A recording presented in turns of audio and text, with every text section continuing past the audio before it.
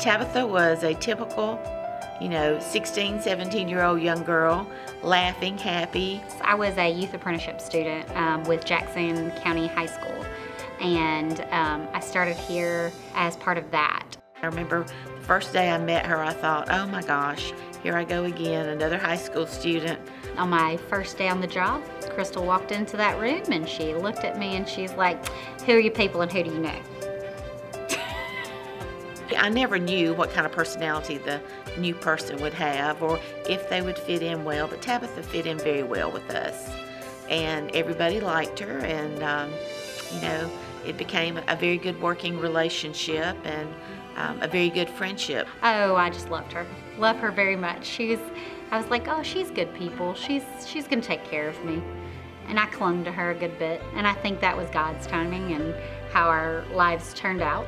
Like, I didn't know she had been through a lot of things and um, I didn't know I was going to go through a lot of things. So, um, you know, she had not quite been here for a year and her mother had was involved in a car accident and did not survive. Um, when Crystal found out my mother passed away, she left Jackson EMC that day and came to my house. Joe told her, go, go, take care of that kid. Go, do what you have to do. You know, at that time, Tabitha's father worked at the University of Georgia and he worked on a in a position where he worked at night and I just felt like Tabitha did not to need to spend that much time at home alone. You know, I had two daughters of my own. I could not imagine my child being at home by herself that much.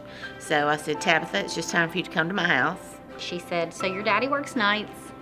Um, I just want you to come home with me. Just come home. And so I stayed at her house and hung out with her and her daughters and everything.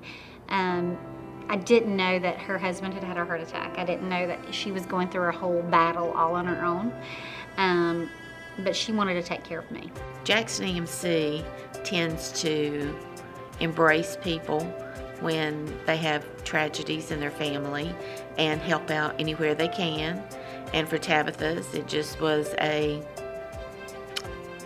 you know, a longer period of time because she had lost her mother at such a young age. My true sense of Jackson EMC has always been that this is part of my family.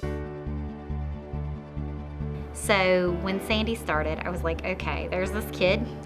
I, and I looked at her and it was so funny because I said this the first day to her because I said, you know, this is what you got to be told the first day you started a job. Who you people and who do you know? Because I found out that's what you're supposed to do. Crystal taught me that. Ever since the beginning of working here, Tabitha's been kind of a go-to leader for me and was always super um, wanting to know who I was. The first day I came in, she said, so who are your people? She's a kid and she's been such a good kid to work with and um, she graduated high school with us and um, everything. So it's been really great to have that different side of being the mama versus just the uh, the daughter. Definitely transitioning into the real world from high school, that helped a lot because um, I didn't know exactly what I wanted to do. I got my own house right when I moved out of high school, so that was a big step for me. And having Tabitha there to help me plan, help me with knowing budgeting. She helped me with college classes, deciding what to do and what not to do, and deciding how I can move forward for my future. She was very helpful. Crystal has been a huge impact on my life. Um, taking meals to people, making sure that, you know, whatever that person needs, no matter what is going on in your life, is less important than how you can help somebody in their life. And so for Sandy, as I try to um, emulate some of that, is I want her to see that it doesn't matter how busy you are or how many things you have going on. Sometimes you have to stop from whatever that is and pull back from that and help others. I could not imagine my life without Jackson EMC or my life without Crystal or Sandy. They are just so huge a part of my life. Yeah, Jackson EMC is definitely family. We are all one big happy family. and um, uh, it's just super great to know that where you're working cares for you